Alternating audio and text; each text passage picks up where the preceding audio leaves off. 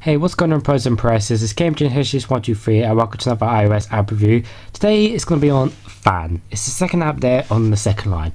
It's free on the App Store and this is all it does. Thank you for watching guys. Don't forget to comment, like, subscribe and I'll see you all later.